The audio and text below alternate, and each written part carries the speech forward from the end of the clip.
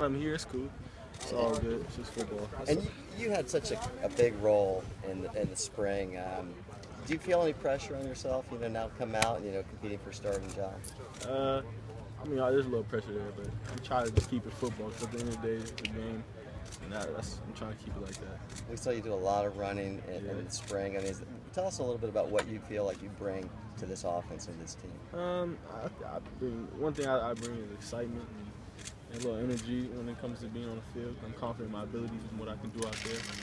So yeah, I mean, at the end of the day, that, yeah, that's that's it.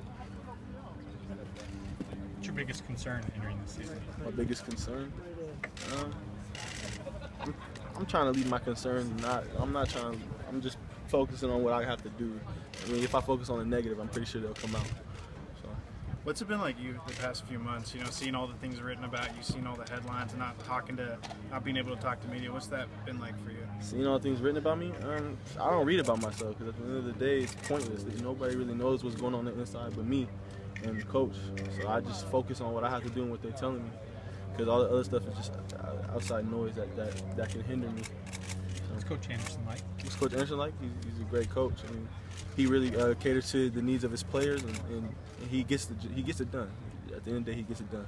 Can you give me an example of catering to the needs of his players? I mean, he, he came into this program and brought millions in, and, and we asked we need cleats. He, he gets his cleats, and, and, and he's strict. He, he he's he's hard on us, but he, he's a great coach. I mean, every he, he he gets us what we need in terms of uniforms or, or cleats or something that we money or, or not money, but like like you know what I mean. If we're if we're like struggling, we go to talk to coach. We can talk about anything. He's a cool dude. We saw you have a lot of acrobatic plays in the spring, especially the spring game.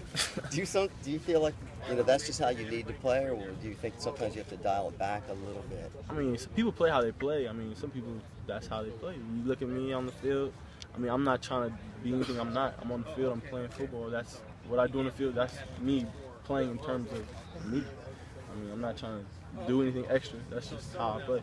When you came here uh, last winter and enrolled in school early, did you expect to be in this position where you know you have a Yeah. good chance to win? Yeah, I mean, yeah, any any school I, was, I, was, I sat down with my parents, and any school I, I attended, I planned on going in and, and trying to compete for the job. Because if not, then why? I don't, I don't, what's the point? You know.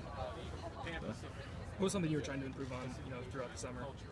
Uh, everything, every aspect of my game, I was trying to improve on, and, and I think that's how it should be. Every aspect of my game, I, I need to improve on. I mean, people people say oh, this, that, but yeah, everything. I need to improve on everything in my game. I'm young, and I got a lot of things to improve on. So I, I, I hit the field and I work hard. So. Obviously, a huge part of being quarterback is having the trust of your teammates. How have you tried to kind of build that over the past you know, few months since you've been on campus?